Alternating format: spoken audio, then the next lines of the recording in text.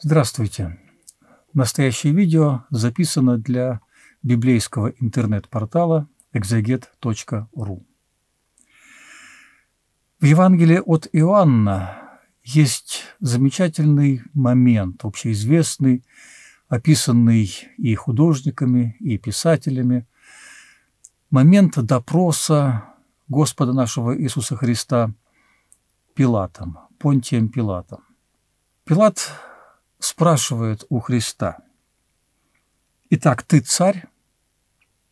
И вот что ему отвечает Иисус Христос. Иисус отвечал, «Ты говоришь, что я царь.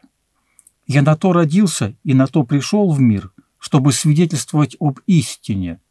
Всякий, кто от истины, слушает гласа моего». Пилат сказал ему, «Что есть истина?» Этот вопрос остался без ответа. Христос не ответил Пилату. Почему? И почему такой вопрос задает Понтий Пилат? И в самой постановке вопроса даже мы видим, что Пилат не ждет ответа. Он не спрашивает у Христа, что есть истина, а он ему говорит, кто ты такой, чтобы говорить об истине. Ты бродячий еврейский проповедник, мне, высокообразованному римлянину, будешь говорить об истине, мне, человеку, который наверняка прочитал массу философских книг, который задумался о том, что такое истина, будет мне говорить какой-то малообразованный, не читавший ни Платона, ни Аристотеля, ни других греческих и римских философов, простой проповедник, сын плотника, это не вопрос. Это утверждение. Никто не знает истину, тем более ты. А в другом месте, в том же Евангелии от Иоанна, мы читаем о том, как Христос говорит «Я есть путь и истина и жизнь». Может быть, в этих словах и откроется тайна, почему Христос не ответил Пилату. Ну, во-первых, очевидно, что Пилат не ждал ответа. Это не был вопрос в собственном смысле слова, и по этой причине Христос ему не ответил. Но есть и другая причина, потому что перед Пилатом стояла сама истина. А чтобы понять, что перед ним истина, в это нужно поверить. А у Пилата веры не было. Вот давайте задумаемся над этой фразой, которая говорит Христос «Я есть путь и истина и жизнь». Что означает слово «путь»? Христос объясняет, говоря в другом месте «Никто не приходит к Отцу, кроме как через Меня». Да, есть единственный путь нашего спасения, путь, который открыл нам Христос, открыл нам своей смертью и воскресением, дав нам возможность, веруя во Христа, в таинствах, причащаясь Его святых христовых тайн, обрести тоже бессмертие после второго пришествия.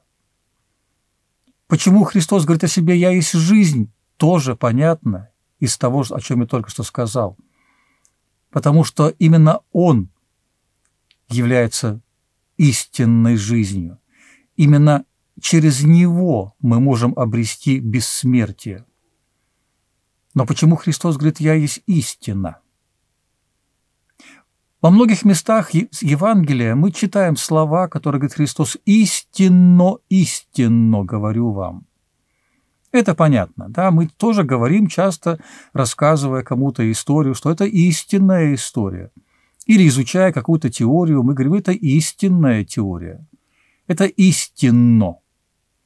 А что такое истина? Вот именно этот вопрос и ставит в тупик Пилата.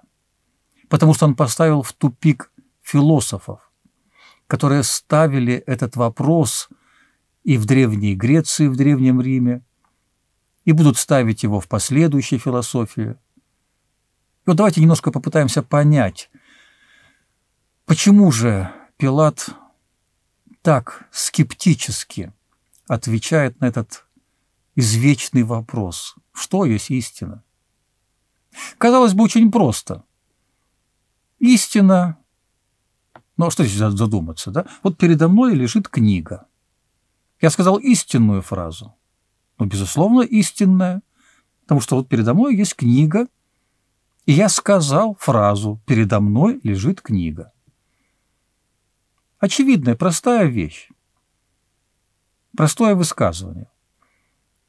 В греческой философии впервые об этом сказал Платон, потом продолжил его ученик Аристотель, говоря, что истинным является то высказывание, которое соответствует действительному положению вещей. Ну, казалось бы, что проще. Однако философы-скептики подвергли эти, казалось бы, очевидные высказывания и мысли Платона и Аристотеля огромному количеству возражений. Мы не будем с вами разбирать их все. Просто я попытаюсь объяснить вас на простых примерах. Вот перед светофором стоит дальтоник, человек с дефектом зрения. Загорается красный свет для нас.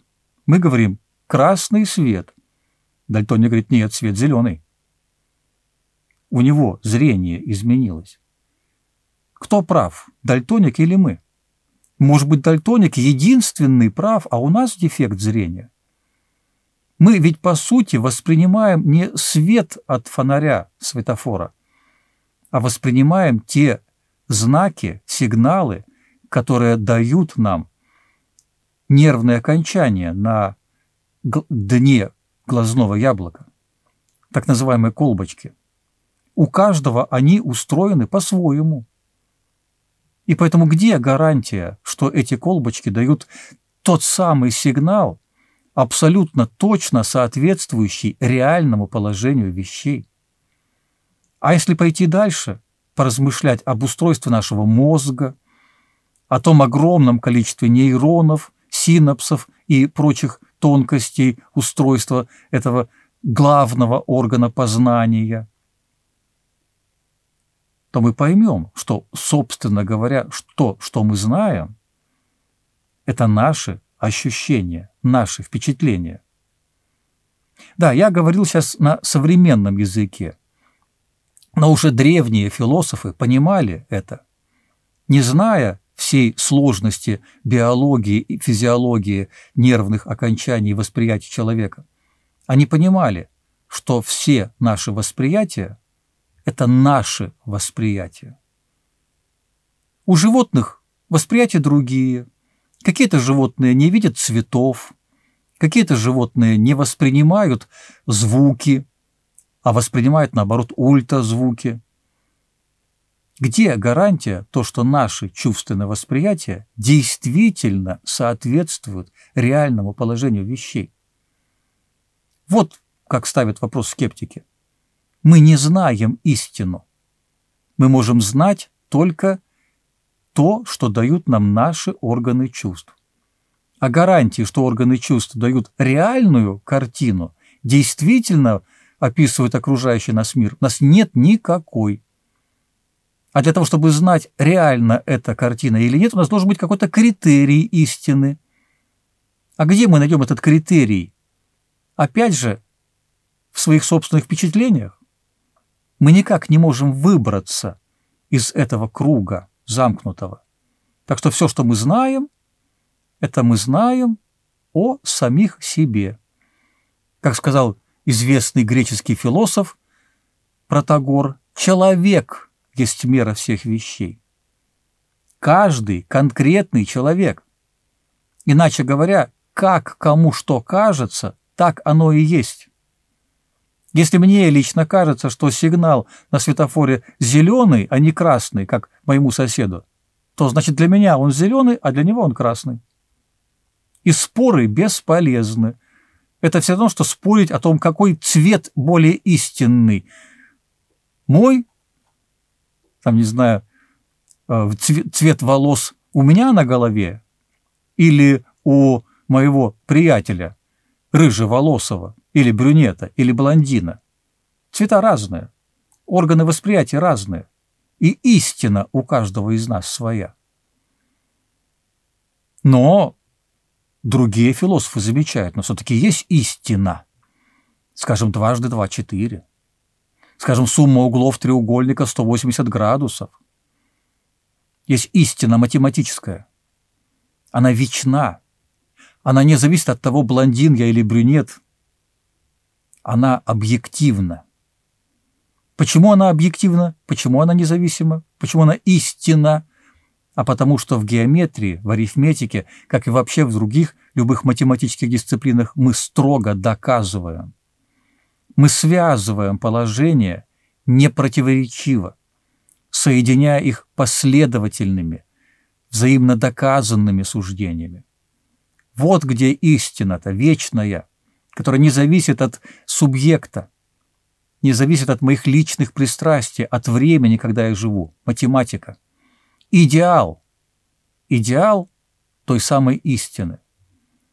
То есть истина, оказывается, это прежде всего непротиворечивость, доказательность, выводимость одного из другого.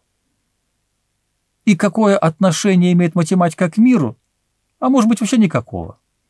Современная математика заявляет, например, о том, что возможны и неевклидовые геометрии, и n-мерное пространство, и разного рода арифметики, не только десятичная система счисления, но и двоичная, и восьмеричная, да какая угодно.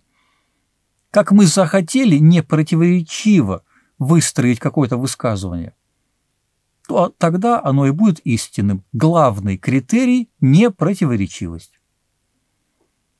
Но отсюда возникает одно удивительное следствие. Если математик строго, непротиворечиво произвел некие вычисления, то он после этого утверждает, я действительно познал, как устроен мир. Он утверждает, что его непротиворечивые вычисления – это знание об объективных вещах. То есть тот самый непротиворечивый ход мыслей и является критерием устройства нашего мира. А почему, спросят нас скептики, откуда вы взяли, что непротиворечивость высказываний – это действительно гарант соответствия нашему окружающему нас миру. Непротиворечивость может быть только в высказываниях, в мыслях, но не в вещах. Вещи не могут противоречить или не противоречить друг другу. Они просто есть.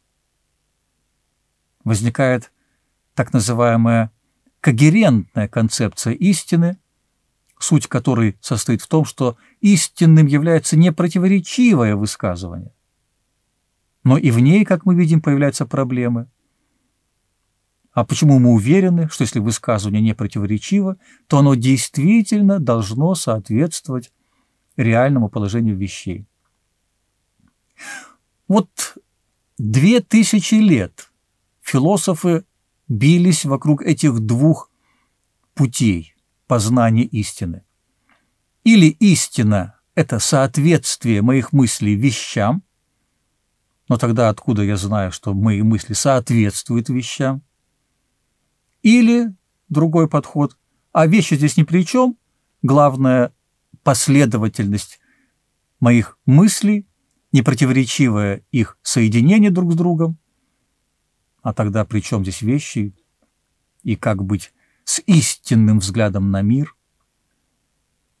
Вот эта проблема, которая получила в философии название субъект объектной проблемы. Субъект познания, то есть человек, противостоит объекту познания. И как быть уверенным, что субъект правильно знает объект, не имея возможности выйти из самого себя. Вот эта проблема, она две тысячи лет ставила в тупик философов – до сих пор, когда в XVII веке многие философы поняли, что надо как-то выйти из этого замкнутого круга. действительно надо посмотреть, а нет ли чего-нибудь соединяющего субъект и объект. Вот так возникает философия жизни. В XX веке из философии жизни возникает философия экзистенциализма, главная мысль которой в вопросе опознания истины состоит в том, что истина не познается рассудочно, потому что рассудок всегда противостоит бытию, вещам. Истина переживается. Человек должен слиться, соединиться с миром, пережить эту истину. Так мыслили многие философы и на Западе, например, Анри Бергсон, и в России, например, Николай Ануфриевич Лосский с его концепцией интуитивизма. Возникает другая мысль. Должно быть нечто возвышающееся над субъектом и объектом, нечто соединяющее их.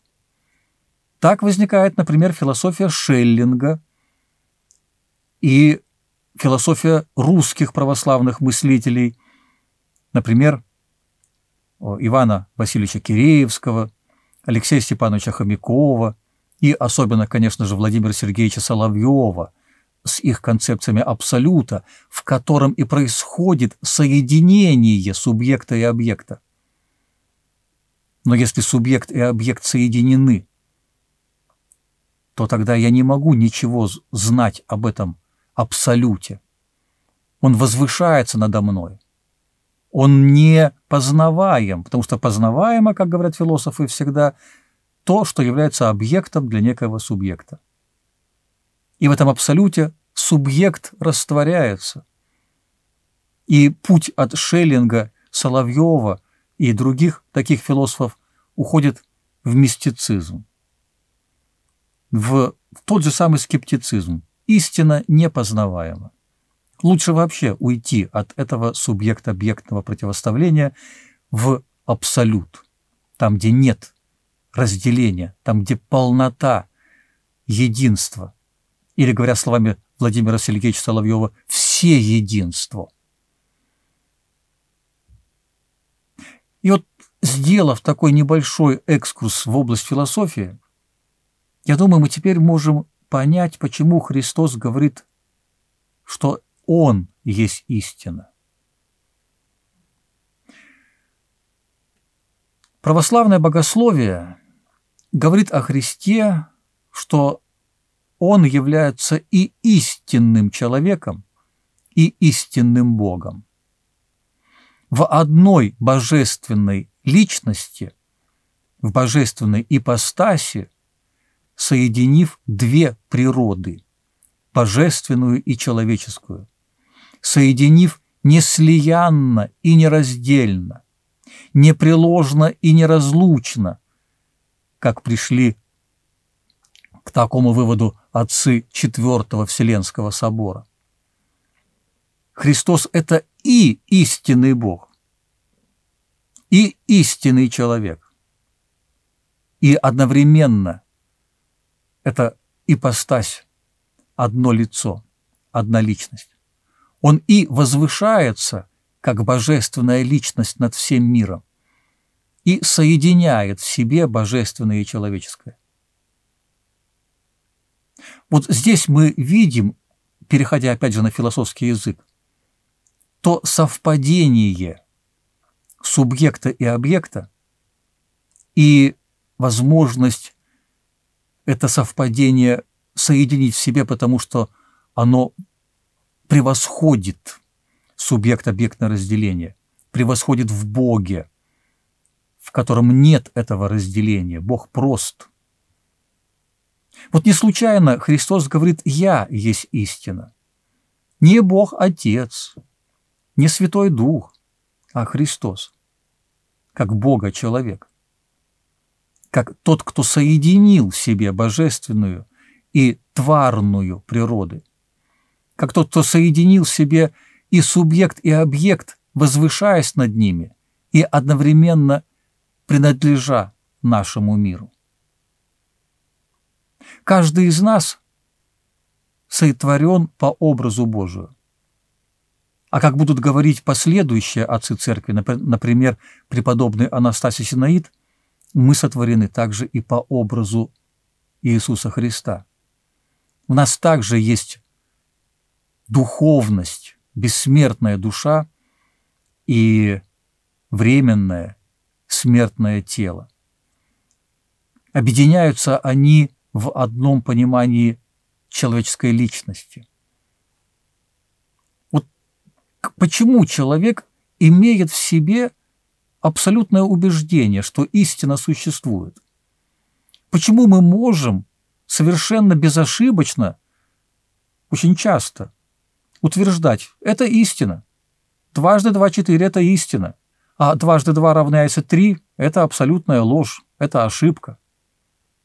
Несмотря на все тупиковые рассуждения философов, каждый из нас понимает, истину от лжи отличить часто очень легко. Если я скажу на камень, что это дерево, надо мной будут все смеяться, говорят, ну ты ошибся. Почему ты это сделал, я не знаю. Не посмотрел внимательно, не подумал.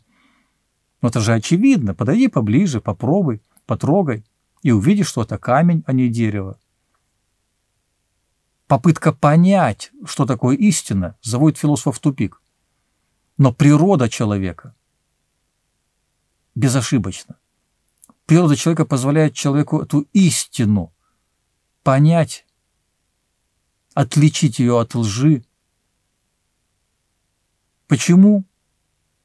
А именно потому, что человек несет в себе этот образ Божий, образ Христа, который соединяет в себе и субъект, и объект, и тварное, и нетварное, и Бога, и человека.